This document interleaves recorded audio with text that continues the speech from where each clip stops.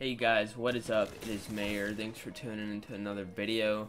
Uh, today's going to be a short video. I don't really have a lot to talk about today, but I do have a few items. First off, guys, uh, I have a Discord going on.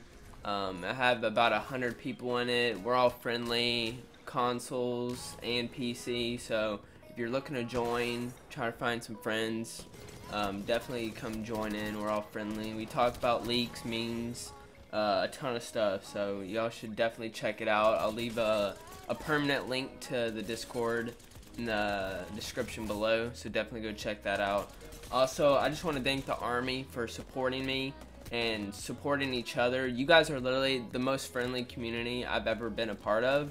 And I play Modern Warfare, and that place is toxic. Everything's just so toxic about it. But um, I just really want to thank you guys. You guys are the best, and you guys are the reason why I'm here. So thank you. Also, guys, I have a new giveaway going on 12,500 Apex coins, and uh, this is coming straight from my pocket, and I'm just giving back to y'all.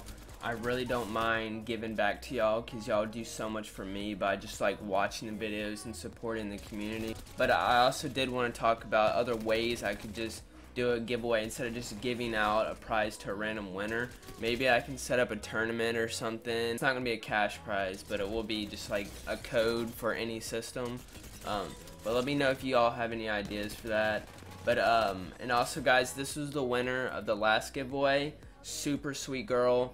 Um, she won the giveaway and she actually gave it to a friend who enjoys the game way more than her.